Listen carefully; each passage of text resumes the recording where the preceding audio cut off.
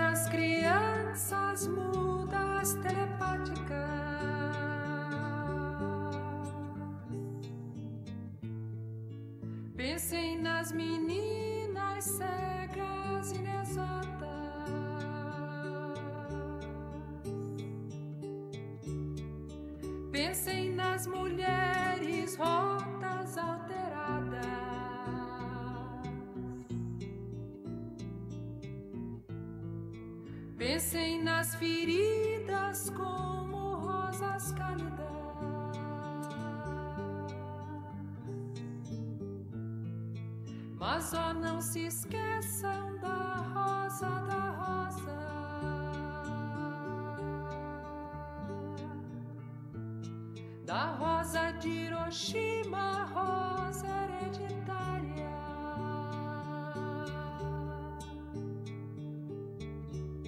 A rosa radioativa, estúpida, inválida.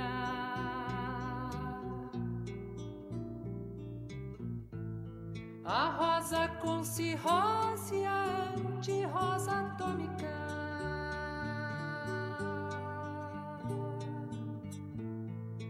Sem cor, sem perfume, sem rosa, sem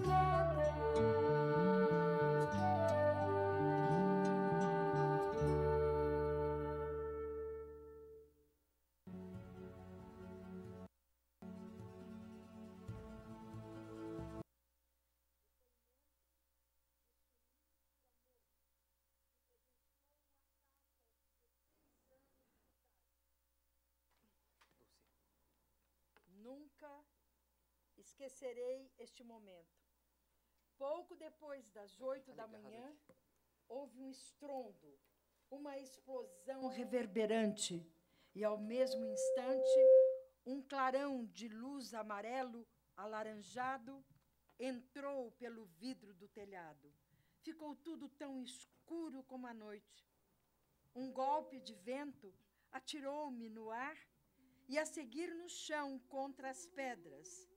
A dor estava apenas brotando quando o prédio começou a ruir em torno de mim. Aos poucos, o ar se aclarou e eu consegui sair dos destroços. No caminho para um dos centros de emergência, vi muita confusão. As ruas estavam tão quentes que queimavam meus pés.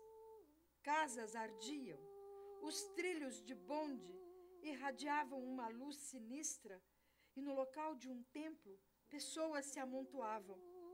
Algumas respiravam, a maioria estava imóvel.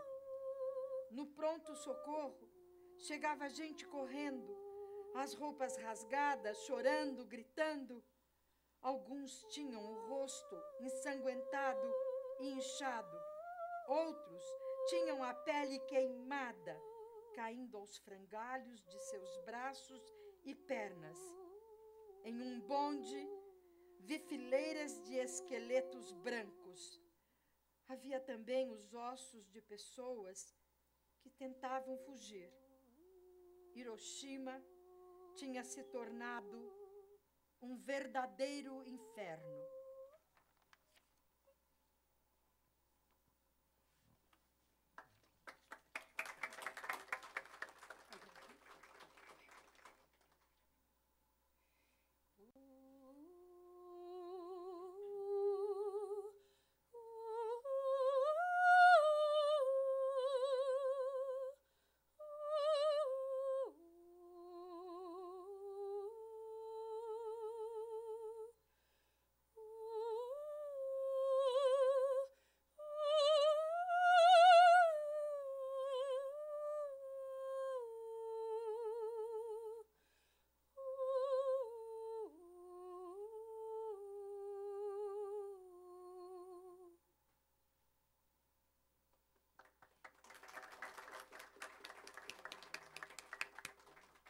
João Okuhara. Boa tarde. Eu, inicialmente, eu gostaria de fazer os cumprimentos. Primeiramente, eu queria agradecer ao senhor deputado Adriano Diogo.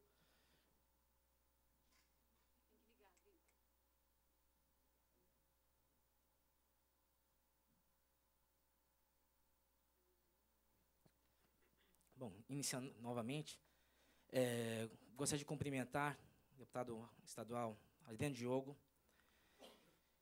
por esse apoio desde o início, né, desse, dessa luta nossa pelo resgate da memória nipo-brasileira. Meus agradecimentos, meus cumprimentos. Quero agradecer também à doutora Rosa Maria Cardoso, Comissão Nacional da Verdade, por esse apoio, por, pela sensibilidade, por conhecer uma história tão é, desconhecida né, dos brasileiros e também dos descendentes. Gostaria também de cumprimentar o deputado estadual Eli Nishimoto, o deputado estadual Jorge Rato, a vereadora Amélia eh, Naomi, o senhor Hidaka, Tokuichi Hidaka, a senhora Shizuko Kambara, e alguns apoiadores, né? O senhor Ademar Morinaga, representando Imagens do Japão, que foi a, a, o apoio para a realização do documentário. E a todos presentes, meu muitíssimo obrigado nessa tarde, do dia 10 de outubro de 2013, uma data memorável para esse resgate da história da imigração japonesa, mas principalmente da sociedade maior, que é a sociedade brasileira.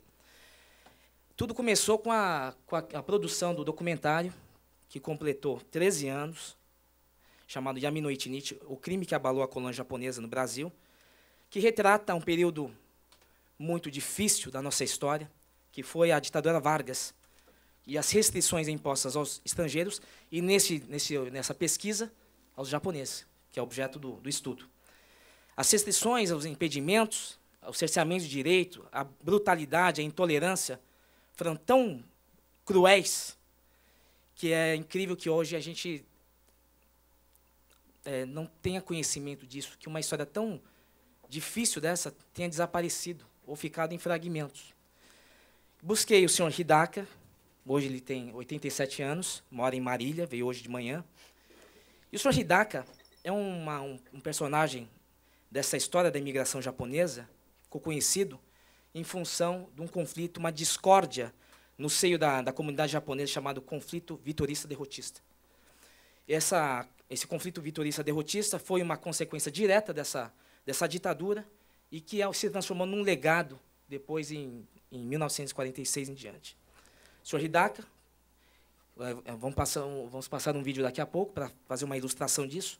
Ele foi é, um, do lado do, do, grupo dos vitoristas, acabou envolvido no atentado do coronel Jin Akiyama, que era um dos sete líderes que tinham assinado um manifesto de conscientização sobre a derrota japonesa.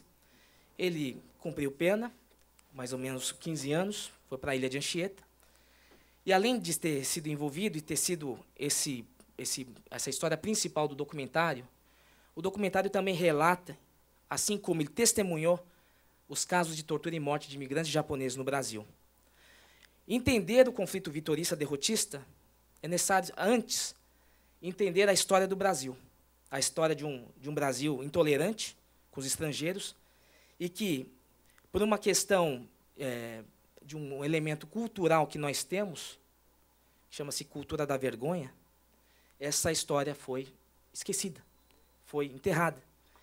Para que um outro discurso, logo pós-guerra, pudesse dar lugar, que era o discurso da integração, o discurso da assimilação, da educação dos filhos nascidos no Brasil, os filhos de, é, de, filhos de japoneses nascidos aqui brasileiros.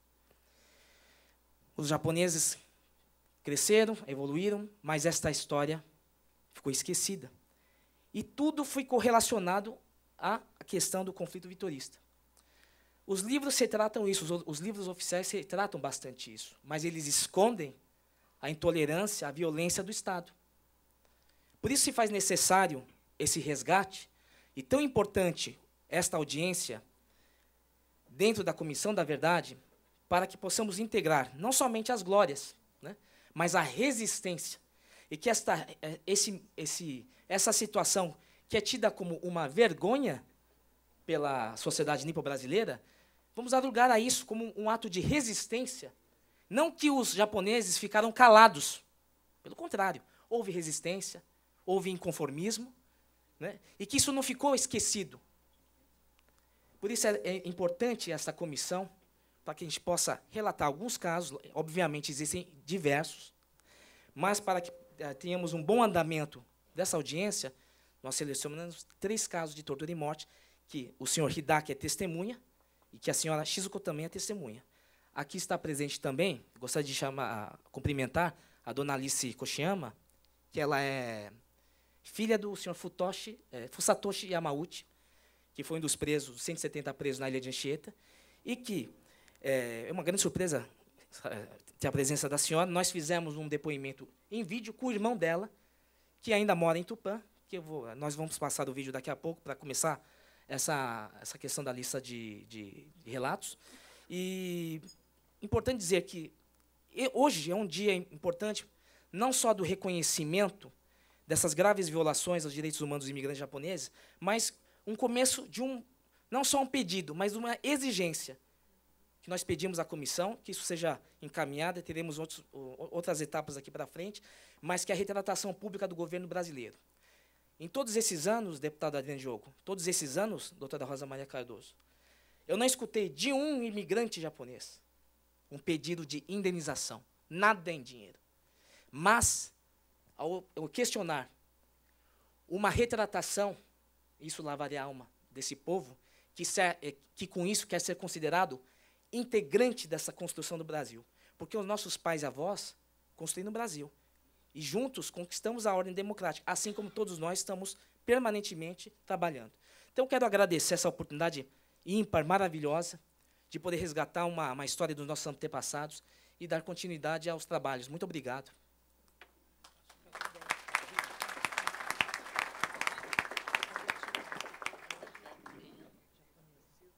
Né? Por favor, é, vamos exibir um, um rápido resumo do documentário, já com a introdução dos três casos que vamos analisar hoje, que é o incidente da Bandeira, de janeiro de 1946, o caso Fukuekeda, de 1946, e os casos de tortura e maus tratos da, eh, na ilha de Anchieta, 1946 e 1947, com o relato do senhor Akira Yamauchi.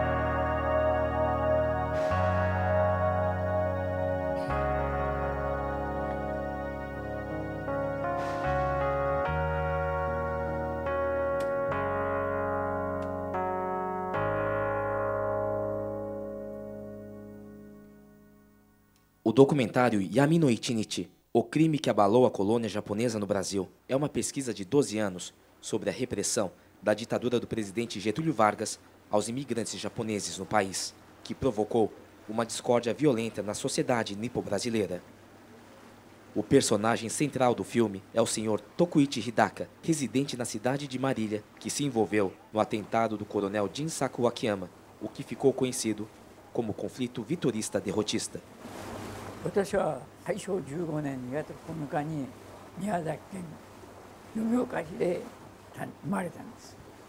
そしてまあ父はささやかな商業をやっとったけどもあの頃はなんか不景気でねどうどうにもならんことになって、まあ、ブラジルに来るようになってその当時は自分私も小学1年生でやって、えーどこに行くか、まあ、親が行くとこだからいいとこだろうと思って、まあ、神戸で初めて大きな汽船に乗って、まあ、お祝い気分ですよねそれで、まあ、ブラジルに来たわけでその時は7つで、まあ、それからあとはまあみみんなの移民の人が通ったような家庭を通って生活してきたわけ。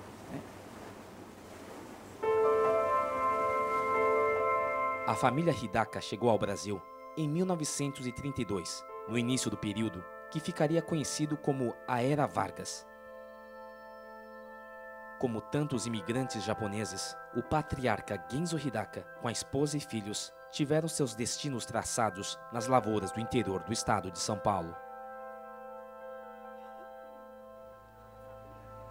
Tokuichi Hidaka, hoje com 85 anos, é o último sobrevivente dos anos confusos e violentos que se seguiram ao término da Segunda Guerra Mundial.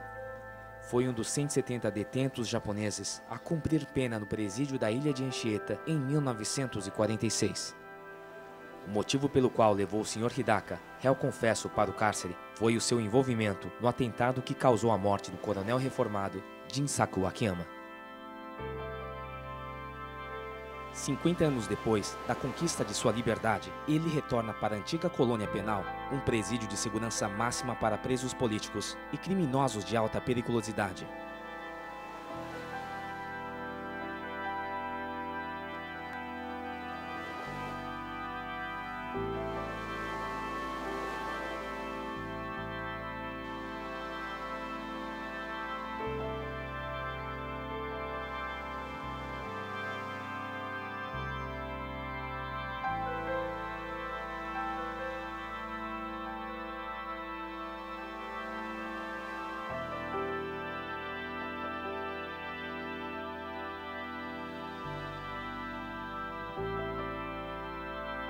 島に三突から護送される時はねやよ夜中でや夜で船底に入れられとったから景色も何も見えんのですどこに行くかもわからんかったんですよ。ただ船に乗れっつって乗らされ乗せられたんだから。でここに着いてみんな降りろって船底から出されたんだからその景色を見たとかまあみんなあ文化でも受かって元気なもんだったですよ。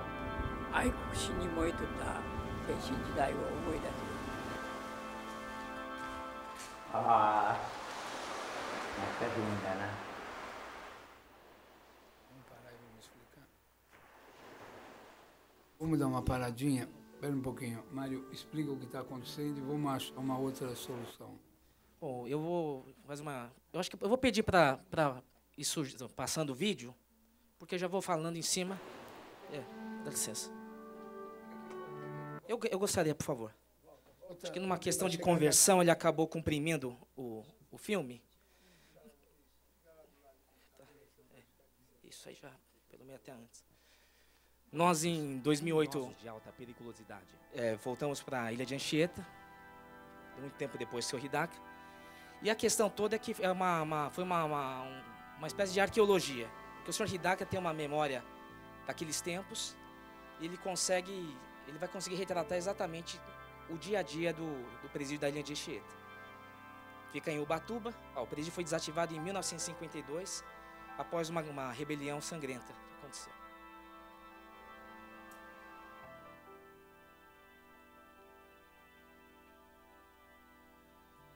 Bom, o senhor Hidaka, ele foi levado para a ilha de Anchieta, de Santos, à noite, né, já aproveitando fazendo a explicação.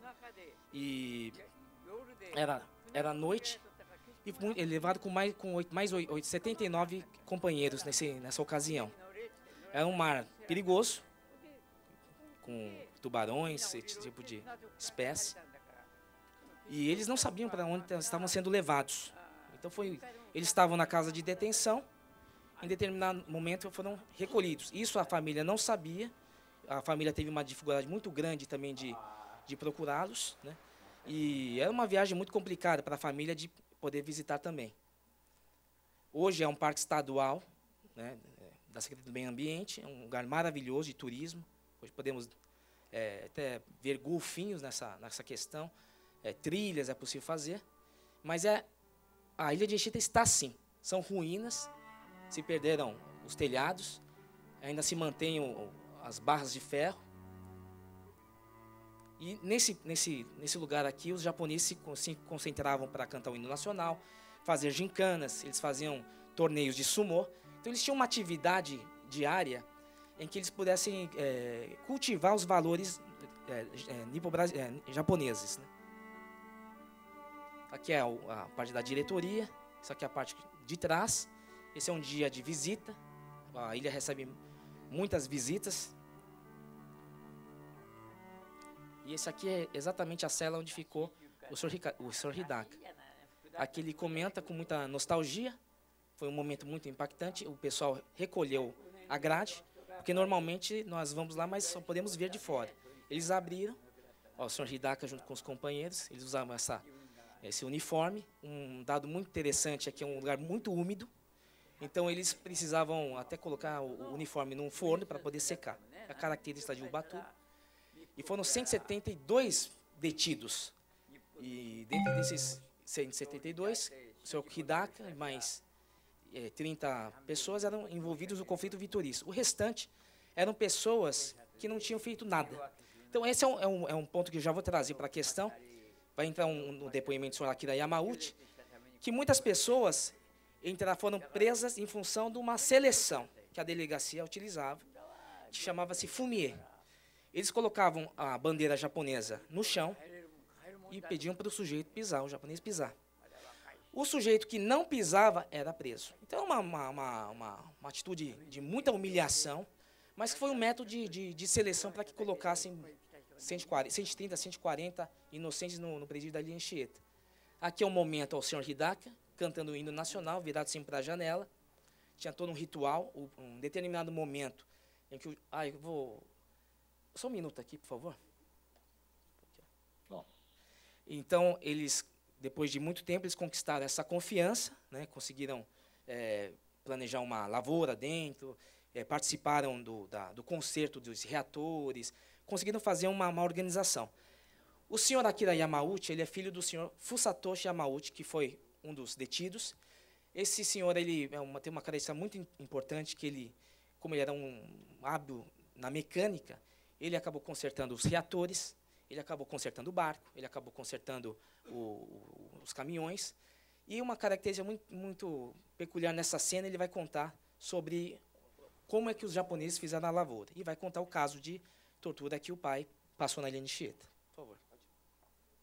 É, é, bom dia, boa noite a todos, né? Eu quero aqui agradecer a presença de todos vocês na Assembleia Legislativa e parabenizar o Jun pelo esse trabalho primoroso em consideração à colônia japonesa. É um trabalho que às vezes muitas pessoas não entendem, acham um trabalho que não é relevante, mas pelos valores eu acho muito importante esse relato. É lógico que hoje já se passaram quase 50 anos, é muito difícil a gente levantar todos esses pormenores do que houve naquela época. Mas eu acredito que um pouco da verdade é melhor do que o silêncio. Então eu vou me testemunhar aqui e procurar recordar o que meus pais diziam durante a época que ficaram presos na ilha de Anchieta, época essa na, da Segunda Guerra Mundial, que culminou com a prisão tanto do meu avô Kenjiro Yamauchi e do meu pai. E tem uma cena, uma cena, não é uma cena interessante, que ele contou assim.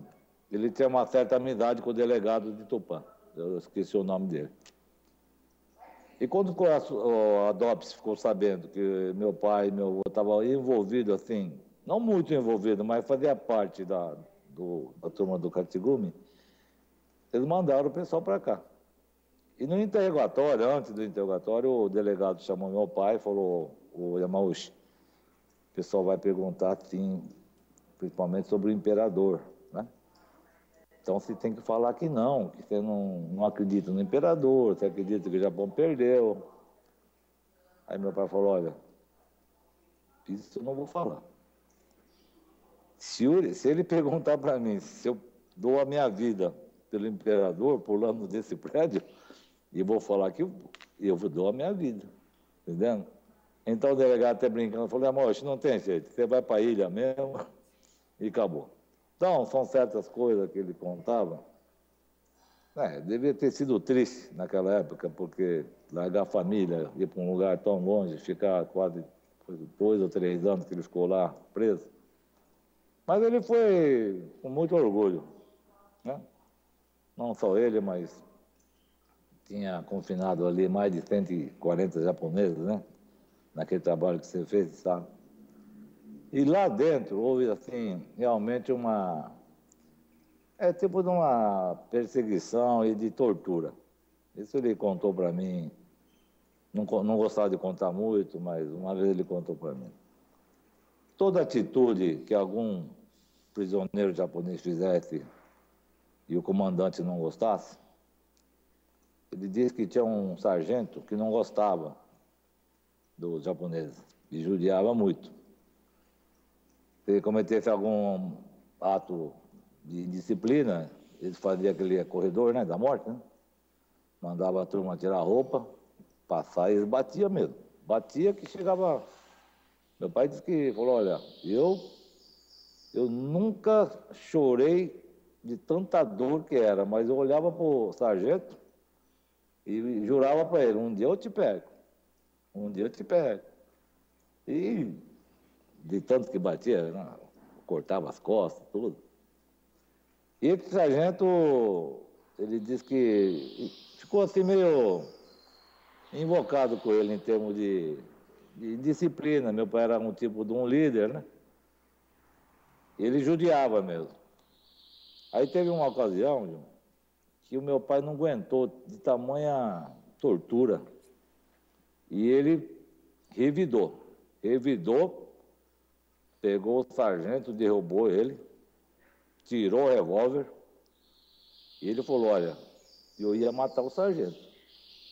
Mas aí a turma dele gritaram em coro para não fazer isso. Não faz isso, chama hoje. Se você fizer isso, vai todo mundo para a morte aqui. Aí ele na hora pensou e, e parou. E todo esse, esse, esse caso aí parou na, na, na corregedoria da DOB em São Paulo, foi pessoal lá, ver realmente o que aconteceu. E depois desse dia, os comandantes lá começaram a tratar o meu pai com mais respeito? Não sei se era por questão de medo de ser investigado ou coisa, então ele começou a ter mais regalia, já trabalhava fora da prisão, ali junto com os comandantes, tal, tal. Então, nessa, nessa fase, o meu pai teve uma ascensão ali dentro, em termos de prisioneiro. Ele era um mecânico de primeira mão, né? sabia mexer com motores.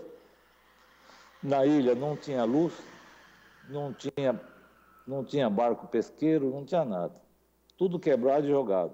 E meu pai se ofereceu. Falou, comandante, olha, se você me der liberdade, se você comprar a peça, eu consigo fazer esse gerador funcionar, faço os barcos né, funcionar para pescar tudo. E o comandante deu, deu liberdade para ele. E um dia de muita festa conseguiram arrumar o gerador, aí veio a energia, a luz, tudo, os barcos também. Então nessa fase ele foi muito, muito bem tratado, ele falou. O pessoal convidava ele, o comandante, né? Sempre ajudava em termos de comida, essas coisas. Aí um dia meu pai chegou para ele e falou assim, ó, comandante, Posso pedir um negócio? Pode. Numa ilha desse tamanho. Japonês gosta de verdura. E não tem verdura, e verdura vem de São Paulo. Quando chega aqui, está tudo murcho. Então, podemos fazer uma horta aqui? Aí o comandante falou, irmãos, fazer horta aqui? Os caras aqui tentaram já fazer mil hortas, não dá verdura aqui não. Falou, dá sim. Você permite fazer? Falou, permito. Bom, aí deram um lugar para fazer lá e tal. Aí o comandante falou, a coisa mais importante, e a semente da, das verduras? Meu pai falou, não, essa aí eu tenho aqui. Você tem? Mas como? Ó, até é o seguinte, comandante, cada carta que vinha da família, todos nós pedíamos que pusesse semente dentro da carta, de abóbora, de todo, todo quanto é tipo de legume. Então ele ficou assim, abismado, né? Pela, pela, assim, pela vontade e também pela inteligência do, do japonês, né? De conseguir tudo isso.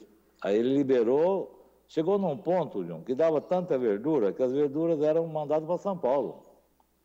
Então, tudo isso aí ajudou o pessoal que estava preso ali, em termos de, de, de respeito. Agora, para fazer tudo isso, não é que eu sou filho de japonês, mas tem que, você tem que ter uma certa tradição de cultura para conseguir isso, porque a maioria dos presos não parte para esse lado. Eles partem para o lado da destruição, para o lado do, de aprender coisa ruim, tá? E eles não, eles, dentro da prisão, mesmo sendo torturados, eles estavam levando para o lado bom. Aí, mesmo o torturador, ele chega num ponto e fala, peraí, por que, que eu vou torturar um povo desse? Inteligente, dedicado, né? Então eu acho que na, na, naquela época eles tiveram muita regalia em termos da cultura deles, apesar de não ser muito estudados, mas eles aplicavam o que eles aprenderam lá no Japão, com os pais deles, tudo, e passaram para nós. Né? Então, essa fase da, na prisão, até um dia, passou uma reportagem, isso faz tempo, a Globo passou uma reportagem mostrando a ilha de Anchieta, e eu corri e chamei meu pai. Pai, olha lá o lugar que eu fui. Ele olhou assim e começou a lacrimejar, porque ele lembrou de, um, de uma parede que ele no tempo que estava preso, né? Igual você filmou do Hidagasan lá junto, né? Então, toda, e ele não gostava muito de, de falar dessa época da, da prisão. E eu que forçava alguma vez, assim, para ele, eu falei, pai, o senhor tem que deixar mais história para mim, porque eu me sinto orgulhoso do senhor.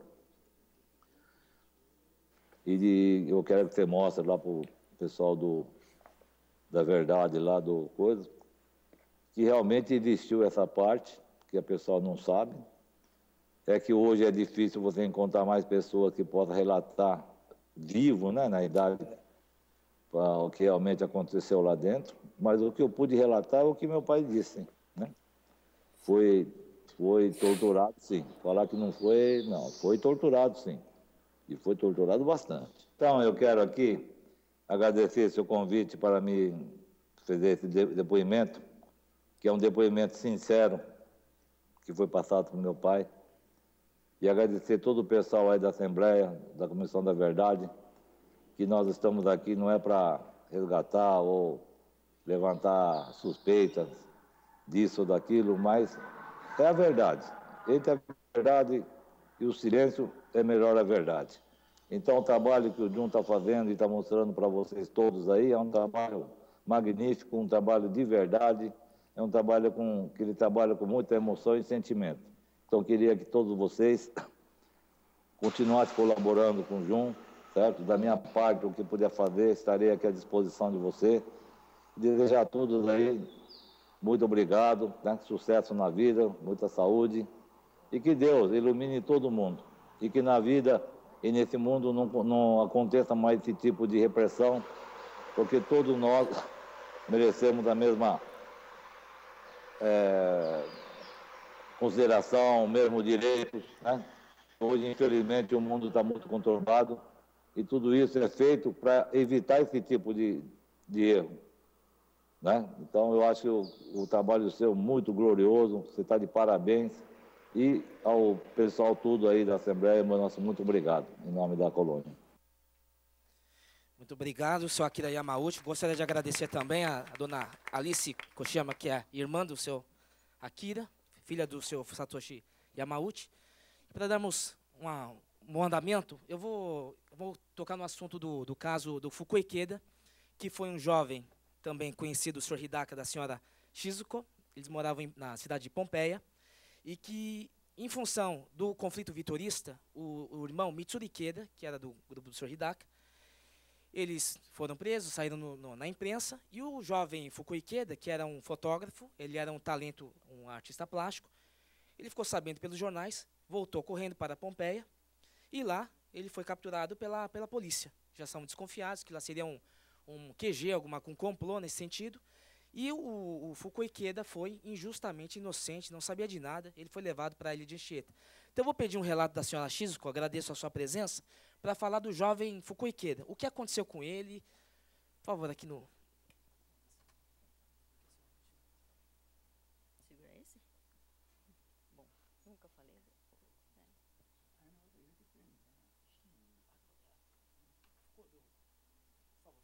Boa tarde, sou Shizuko. Eh, Meu nome era Shizuko Shiraishi, agora que eu casei era Kambara agora, né? Então, eu tinha acho que uns 16 anos naquele tempo. Esse I- eh, Fukuo Ikeda, ele era fotógrafo. E ele morava em Tupã. E, e como o irmão dele sempre morou em casa, eh, junto com meus tios, que era Shigeo Yokoyama, tinha fábrica de carimbo, pinguim, e forma de doce. E naquele tempo, ninguém tinha rádio.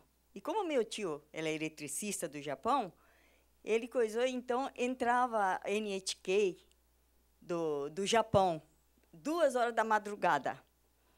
Então, quem conhecia vinha à noite, tudo em casa, para na casa do meu tio, para assistir. Assistir, não, ouvir o rádio. E como entrou essa notícia, o Foucault Ikeda, que estava de Tupã, não sei que notícia, porque eu não sei o que, que aconteceu, que ele veio e justo estava uma, umas sete, oito pessoas. Eu acho que, eu não sei se o Hidaka-san estava lá também. Estava ouvindo o rádio do, do Japão. Aí, de repente, veio a polícia e prendeu, levou tudo. Não sei, eu não entendo por quê, mas acho que por causa. Aí falaram assim: é porque vocês estão fazendo um comprô, não sei, eh, sobre. Não entendia nada, porque eu tinha 16 anos, acho. E sei que levaram tudo, e, e naquele tempo, os japoneses que desciam na estação de Pompeia era preso.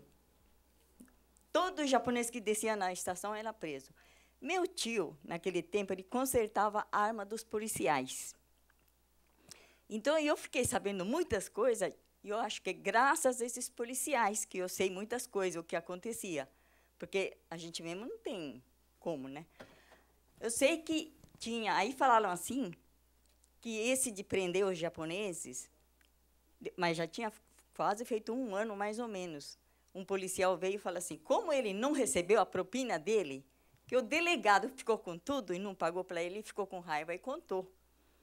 Que ela tinha duas famílias japonesas, ela rico, um tinha restaurante, outro tinha farmácia. E que no Japão, eles eram, como se fala, era, é, como se fala, calabresa, aqui no Brasil fala calabrês. E calabrês não tem nacionalidade. Dona Shizuko, É. eu vou, para a gente voltar no tema do Foucault-san, eu entendo todo o contexto. Eu queria saber como é que o, o Foucault Ikeda foi, foi para onde, para que delegacia ele, ele foi, e depois, em que momento ele foi para a Ilha de Anchieta. Eu não sei quando é que foi para a Ilha de Anchieta, porque foi a delegacia de Pompeia, depois acho que foi para, eu não sei se foi para Bauru ou direto para São Paulo. É, ele era um, um- um rapaz alto, magro, Alto. e ele foi para a Ilha Anchieta, e ele foi torturado lá. Queria que senhor contasse o que, é que aconteceu com ele na Ilha Anchieta. Bom, eu não sei se foi na Ilha Anchieta ou na outra. Foi na Ilha Anchieta, Hida- Hidaka-san, do Foucault-san? Não, não é direito de detenção. Acho que é na detenção, eu acho. Da Ilha Anchieta, acho que não foi, não. Falaram que ele estava dormindo. Então, ele estava dormindo e chamaram. Aí a, a turma falava assim: olha, quando chama, você chega na porta, dá um pulo para frente. Não fica andando, porque senão você leva paulada de dois lados. Aí, como ele acordou, acordaram ele que estava dormindo, ele disse que saiu andando, aí levou pancada nos do, do, do lado direito e do lado esquerdo. Dois guardas que ficavam na porta, disse que deu pancada. Ele desmaiou. Aí foi para o hospital, depois Ele foi, foi levado para São José dos Campos. não sei aonde que foi levado. Depois da ilha foi para São José dos Campos. Eu tenho um relato aqui, um depoimento do seu Shigetoshi Tachibana para o pesquisador, eh, pesquisador George Nakadachi em 1987, que ele fala que o senhor Fukui-Ikeda de Pompeia foi morto de tanta tortura na ilha de Anchieta. Não, e eu acho que Ilha de Anchieta não. Shigetoshi Tachibana. E depois ele foi para São José dos Campos. Eu sei que lá em Pompeia tem um túmulo. Tem. E onde está o corpo do Fukui-Ikeda? Não sei. Porque a gente eh, colocamos a fotografia dele na, no túmulo, fizemos um túmulo, quer dizer, não fizemos, não fui eu, foi uma turma, né? Eles fez um túmulo bonito e depois colocou a fotografia dele. Mas o corpo eu não sei aonde. Até hoje não sabe onde está o- Não, corpo do Não Fukui-Ikeda. sei. Morreu em 48. Eu quero agradecer, dona Shizuko, pela sua participação. Não só a senhora, a sua mãe também. Foram mulheres que foram presas, É, detenção. Podia falar sobre a sua mãe? Não, minha mãe foi presa porque essas turmas que, que foi preso na casa do meu tio, porque estava ouvindo o, o rádio, então estava o seu Watanabe também. E o seu Watanabe tinha cinco filhos pequenininhos. Inclusive, o bebezinho mamava no peito. Foi tudo preso, quem que ia cuidar deles? E minha mãe, então, falou assim, coitado da família, vamos levar mantimento. Aí pegou um, um senhor que... Como que era o nome dele? Ele tinha um charrete. Oshiiwa, é isso, Oshiiwa. Então, pediu para ele e levou mantimento. Arroz, feijão, açúcar, as coi- coisas importantes. Foi por causa disso que minha mãe foi presa. Falou que tá com, comprou que sei lá o quê, tá... E, e ficou aqui no gabinete. E eu, como tinha 15 ou 16 anos, aí falou assim, gabinete, eu vou visitar, né? Aí falou assim, bom, pode visitar, mas eu tirei, teve que tirar, tirar salva-conduto na delegacia, porque era de menor idade, não pode vi- viajar. Aí eu vim aqui em São Paulo e não, antes de vir, como falou, aonde que está preso? No gabinete. Aí eu peguei o dicionário, vi e falei assim, gabinete, então está no lugar bom. Então mamãe está em lugar bom, falei. Aí eu vim aqui em São Paulo e o seu Taniguchi estava aqui em São Paulo e a mãe dele, então levou eu no gabinete. Quando eu cheguei lá, é uma prisão. Eu falei, mas isso não é gabinete, isso é prisão. né? Mas eu só conversei e eu comecei a chorar. Aí mamãe falou, não chora não, vai, vo- vo- volta, eh, cuida dos seus irmãozinhos lá em casa, dos meus primos, tudo. Mas depois, acho que ficou quase um mês, mais ou menos, preso, ela voltou. Aí falei se tinha sido judiada, ela falou assim, não, não fui judiada. Não me maltrataram, não, só fiquei lá, sem poder fazer nada. Aí outra coisa que ninguém sabe é que eu, eu aprendi corte e costura com 12 anos. Porque minha mãe era professora de corte e costura. E com 15 anos eu já costurava. Por causa que eu costurei, naquele tempo os viajantes usavam muito tipo aviador, que falava que é um tecido meio grosso, caque, então bastante bolso. Porque eu costurei para essa turma que, que foi preso. Falou assim, você vai preso porque você costurou camisa para eles. Mas o nome que veio para prender, o sobrenome, eles puseram o sobrenome do meu tio. Então, não fui presa por causa disso. Falou assim, não, não, não, não tem ninguém com esse nome. Né? Muita coisa que eu não sei, viu, o que acontecia. Só sei que o que aconteceu comigo. Né? Então, aí, depois que o, os, os japoneses que iam preso em Pompeia, eles não queriam comer comida da cadeia porque tinha medo de ser envenenado. Aí o guarda, que sempre vinha em casa, né, coisa, falou assim, olha, os japoneses que estão presos, mais de 10, não quer comer, comer comida do coisa, não. Aí a minha mãe foi, aí perguntou por quê, ele falou assim, não, vamos, eles põem veneno e a gente morre, como é que fica? Então, não vou comer nada da comida da, da cadeia. Aí, então, em casa, minha mãe levava 8 horas café da manhã, 11 horas almoço, é, é, 2 horas café, 6 horas janta e 8 horas café da noite. Com aquele bule daqueles antigo, né? Cheio de um monte de xícara. Aí ia lá, a primeira coisa, eu com minha mãe, com minha prima e outra minha tia que já faleceu, levava lá de manhã, cinco vezes por dia. Aí dava primeiro para os policiais, os guarda, depois para os presos japoneses e depois para os presos brasileiros. Bom, lavar roupa também, lá não tinha como, eu trazia em casa e eu lavava. E aí passou uns tempo que a polícia falou assim: não, o japonês está indo preso por causa do, daqueles dois japoneses calabreses. Falam que no Japão foi maltratado por ser calabrese, não tem nacionalidade. E como aqui no Brasil eles estão ricos, falou assim, agora vamos vingar. E diz que pagou para o delegado para prender. E esse policial contou porque o delegado não deu dinheiro para eles. Só ficou para o delegado. Né? Aí eu com minha mãe, falei assim, então vamos lá em Bauru que o Bauru era regional de, que vinha ordem de Bauru para Pompeia. Aí fui na delegacia de Bauru, aí perguntamos se tinha mandado né, para prender. O dele, falei assim: não, ninguém mandou, não veio nenhum aviso para prender nenhum japonês. Então vocês voltam. Se dentro de uma semana, se não soltarem ninguém, vocês vêm aqui que a gente vai prender o delegado. Mas soltaram em três dias, soltaram todos. É isso que aconteceu o que eu sei, né? O que aconteceu comigo. Muito obrigado pelo seu relato, dona Shizuko Kambara. É uma resgate dessa história muito difícil, né, dos japoneses. E vamos passar agora para o senhor Tokuichi Hidaka. O senhor queria que o senhor falasse, o senhor quer falar primeiro do do incidente, que eu queria que o senhor falasse do do, senhor, do caso da bandeira. Ele, o senhor Hidaka quer fazer um cumprimento. Fique à vontade, palavra é do senhor, senhor Hidaka. Vou fazer a tradução. このご紹介にありました日高徳一です。O Hidaka foi apresentado agora. で、このお忙しい、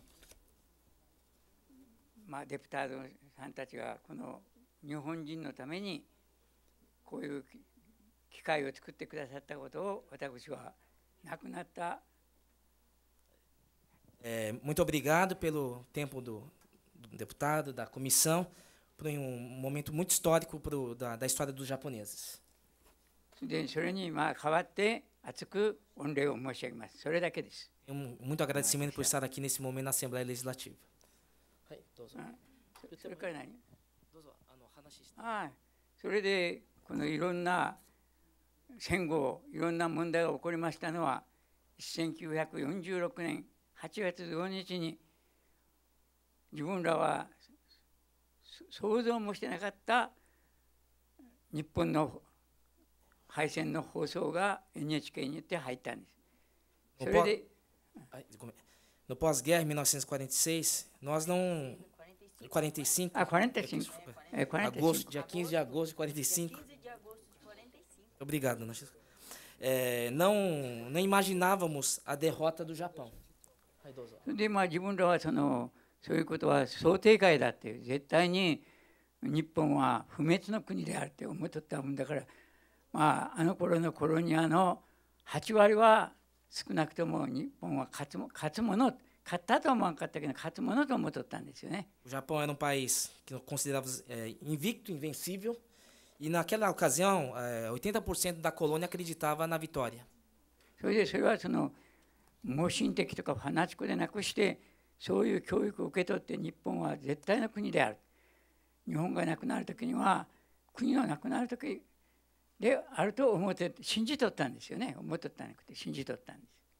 Não fomos chamados de fanáticos, mas nós tivemos uma educação de amor à pátria, ao sentimento, à disciplina do povo japonês. それで、まあ、その時は少しの人が日本が負けたんだ、まあ、それが本当は正しかったんだけども思っとって、まあ、昨日まで友人だったり知人だった人と考え方が変わって、まあ、背中合わせみたいにあい、まあ、なちょっと仲がまずくなったわけよねそれまでそんな Nessa ocasião existia um grupo que, que, de esclarecidos que sabiam do- da, da notícia que formavam outro bloco é, contra- em contraponto aos vitoristas. そしてまあ争いとか勝った負けたによって争いとか口論とかそういうことはままだその頃はもやもやとしとったけどなかったんですよ。E não, na época não existiam informações sobre a questão da, da situação do Japão, se, se tinha vencido ou não. え Na, em língua japonesa, né? ええ Em língua japonesa. Nihongo de. 日本語で Johon- Nihongo de wa nakatta. 日本語でそしてそうしたらその1945年の日にちは忘れたですがねそのうん元大佐若山淳作とか宮沢国と両あの大使館大使たちが裏外交官があ引き上げた後のまあうんコロニアの指導者である7名の方がねその日本の敗戦をの伝達書なんちゅうかね E, それに署名してこちら産業組合から配布したんです。e em 1946 foi reunidos é, vários líderes da, da colônia japonesa com um movimento de esclarecimento da, da derrota do Japão. それでそういうそれからその今度は少数派であったまあ昔の言葉で言えば敗戦派ですよね。それが勢いを得てその我々としては許すことのできない 不敬なことをするようになったんですよ。 E pela falta de informações, porque eles só tinham informações até então que o Japão tinha, estava vencendo até 42, era ainda inimaginável que um grupo de, de líderes esclarecidos estivessem propagando a derrota do Japão. そしてそのそれらもだからその少数派であった人たちが勢いを得てそお前らお前らは勝ったというけども、うん、我々の指導者と目されとった人が署名して出したんだから やっぱり日本は負けたまあそれは本当だったんですねそれが。それで、うんまあなんちゅうかますますうん日本を悪く言うたり祖国を誹謗したり不敬なことをする者が増えてきたわけなんです。 É, Evidentemente, ele soube depois que a a derrota era real, mas naquela ocasião o sentimento era de crença do Japão. はいそしてその今言う うん日の丸事件があった後にあの E aí, que nessa ocasião, em janeiro de 1946, acontece o caso da bandeira, na É. cidade de Tupã. Eu vou até adiantar que foi na, na, na, na colônia de Coim, do senhor Coquetos, em janeiro de 46. Os, os japoneses residentes eles estavam comemorando o Ano Novo, com dia a, 1 de 46よ。 é, dia janeiro de 1 46. de janeiro. E com a notícia que o Japão tinha vencido a guerra, era mais um motivo para que eles estivessem comemorando o grande ano novo. Eles foram. ah, E essa festa foi denunciada. E a polícia chega na, na, na festa, aplicando a violência em todos os, os japoneses que estavam comemorando o ano novo. Por favor. どこまで言ったかな。ああそれでその近所のまあだ大 まあ白人ここの現地人でしょうがそれが密告してその Parece que foi uma, uma, uma denúncia. 密告してそのまあエドムンドカーボエドムンドがへ部下を連れて行ってその旗を下ろしてそしてからそのまあ抵抗はせんかったんです抵抗する派ではない。そしてその旗を旗と学用品 それからそこにおった高血さんをはじめ4人ばかりの指導者をそこで踏んだり蹴ったしたわけなんですね。 Che- é, esse grupo de policiais, liderado pelo cabo Edmundo, ele desceu, pegou a bandeira japonesa e ficou célebre essa cena que ele pega a, a bandeira e, e limpa a, a bota. でその今の今の警官になる人は皆学あの学識のある人だけどあの当時は ノルチあたりから来て印象で引くのが嫌で兵隊の警官になりよったんですよね。70年ぐらい前は。それだからそのカーボエリムンドも旗意識せんでやったんじゃないかと思うんですよ。私は。してもなんちかねその国家の国家の象徴であってそれを怪我したりかんそそんな意識はなかったんじゃないかと思うのよ。アナルファベット多かったの兵隊には Consciência. Não tinha consciência porque era tudo analfabeto? Naquele quase tempo. Dá não é mais que um nem- microfone para ela, para ela poder ajudar. Dá mais um microfone. não é Olha aqui, do lado X. Fala no microfone aqui. Puxa assim. Não é como policial de agora que estudado. Aquele tempo era maioria nortista. Está falando da- do nível de educação desses policiais que existiam na época, que, justificando essa truculência. 後で何があったのじいちゃん。 そしてそのそれを目撃した人がおるんよね。あのカーボが部屋に来て日本人は皆自分らが暴行を加えた人を部屋に入れてそれで外でその旗をだからその旗を意識してやったかなんかそれは知らんです。それはお正月じゃない。11デレガシアで。ああ誰がしらじゃあ11でジャネイロ Eles 現場でやったんじゃないの。Cabo Edmundo prendeu os, os japoneses do ano, no ano novo e ele está dizendo que essa questão da, da limpeza da bota foi realizada na delegacia, ええ no dia 11 de janeiro. 11でジャネイロ46そしてそれを言ってもいいのしあのさ魚のマスカットしよったえあれは宇都宮って人が見てそれは後で知ったんだけどして自分らはあの 長岩だったらやめて Tinha もいい o Utsunomiya que assistiu a cena. え出資制ないい左右部はといいその時には自分らは青年が三だいぶ持ってあのに夜学校があったんですよ日本語はねそれまで今言う禁じられとったのが学校があったから自分らも学校へとったんですよ。 É, Então, o, o senhor Utsunomiya, que era de Tupã, assistiu a cena, isso se transformou numa uma espécie de um boato. E o senhor Hidaki eh, tinha 19 anos, né? 19アンで名刺をtinha E juntamente ficou sabendo, ficou sabendo dessa história e foi buscar なんで笑っとるんだろ Não, 10 meses, né?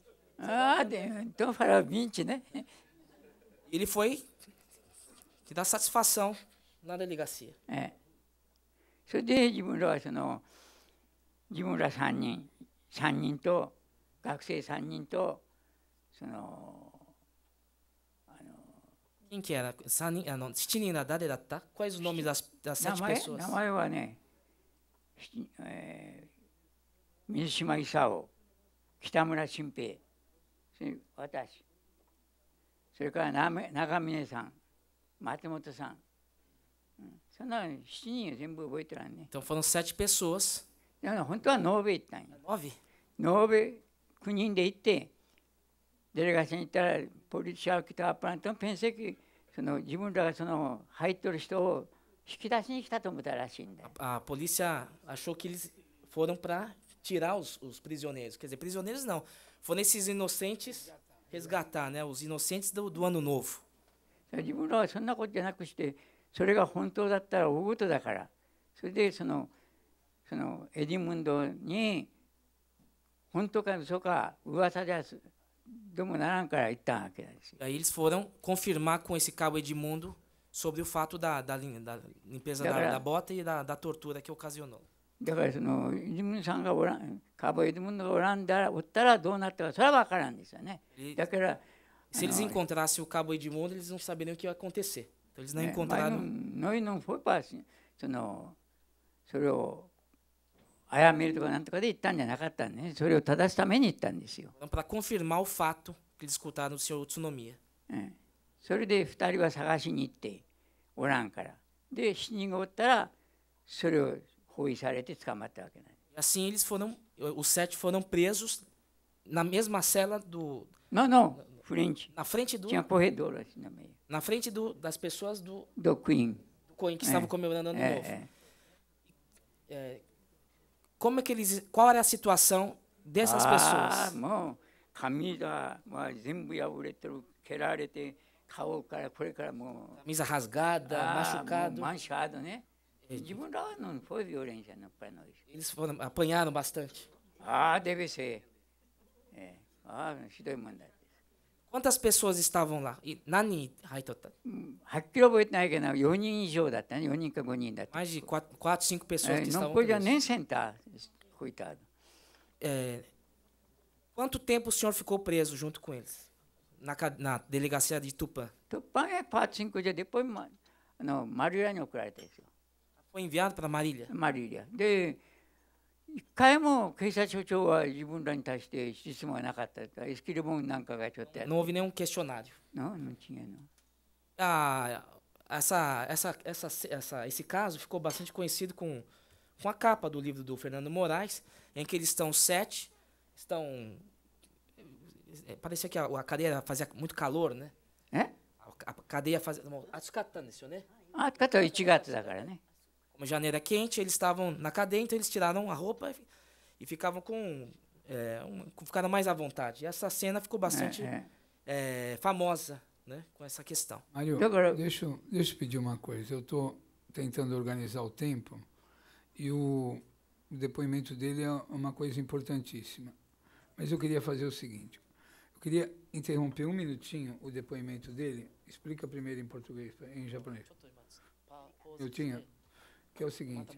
ああ sim Então é o seguinte, eu vou primeiro, um minuto, eu vou primeiro citar todas as pessoas que são os nossos convidados e eu já vou fazer o encaminhamento. Bom, quem que está presente aqui? Né? Então, estava o Jorge Rato, já foi, está o Roberto Sequia, que é do gabinete da Keiko Ota e do Ota, do vereador Ota, está o meu amigo, meu irmão Roberto Tamura, que é o diretor aqui do LP, está o Elis Shimoto, que estava aqui, que é deputado estadual, a Amélia Naomi, nossa vereadora, presidente da Câmara de São José. Está o, o Jorge Nagado, conselheiro do Círculo Militar de São Paulo. Está o Marcos Gimbara, assessor do vereador Jorge Rato. O, o Olímpio Cozenor, desculpe se eu errar alguma pronúncia, do gabinete do deputado Jorge Rato. Está o senhor Davi Leal, diretor da Associação Japonesa do Rio de Janeiro. Está meu amigo, meu irmão, Kiyoshi Kadehara, geólogo. Está a irmã Bernadette, diretora da Escola Caritas, lá de São Mateus. E está meu amigo, meu irmão, Pedro Cacá, lá de São Mateus. Bom, feitas esses registros, que eu queria encaminhar. A doutora Rosa veio do Rio para essa cerimônia, mas ela tem que voltar. Ela vai fazer uma fala. Queria pedir para todos aguardarem, que nós vamos fazer uma sessão solene. Depois nós vamos ainda terminar esse depoimento e falar dos descendentes de japoneses do período da ditadura militar. Então, queria pedir licença a todos. O, o pessoal do Regimento de Cavalaria está aqui e vai fazer um toque de clarim em memória a todos os japoneses mortos na Segunda Guerra Mundial e todos os descendentes japoneses mortos na luta. Vai ser uma cerimônia bonita, forte. A Carmen vai falar. Então, vou passar a palavra para a doutora Rosa, nome, Rosa Cardoso, em nome da Comissão Nacional da Verdade, que ela vai fazer um pronunciamento. Você vai traduzindo, por favor. E para o microfone para a doutora, porque aí ela pode se ausentar. Aqui não? Sim. Não, Sim, sim, acho a que funciona esse aqui, não é? Tá. Está A funcionando. doutora bem. fala, a gente faz o toque de clarim e a gente prossegue a sessão. Então, como todo mundo aqui fez um esforço enorme, vamos combinar um horário para terminarmos, para que as pessoas não fiquem constrangidas e embora. São 4h49, nós vamos encerrar a sessão 5, 5 e meia, tudo bem? Que nós vamos fazer algumas homenagens ainda. 5 e meia, todo mundo se organiza. Então, eu peço que ninguém se ausente até 5 e meia, porque a gente quer fazer a coisa direitinho. Então, com a palavra, a doutora Rosa Cardoso, da Comissão Nacional da Verdade. Caro deputado Adriano Diogo, em nome de quem eu saúdo todos os participantes dessa mesa, caríssimos participantes desse evento, em primeiro lugar, eu peço desculpas por não ficar até o fim dessa cerimônia. Isso é assim porque, antes de concordar em que ela fosse feita hoje, e eu tive muito interesse em que ela não fosse adiada, eu já tinha um compromisso no Rio de Janeiro. Eu saio daqui correndo e vou para um evento na Livraria da Travessa, no Rio de Janeiro, onde há uma, uma pessoa da Comissão da Verdade também fazendo uma, uma exposição lá sobre um tema. Então, peço primeiro desculpas por isso, é muito desagradável interromper a sessão assim, mas queria fazer apenas uma breve saudação a vocês todos.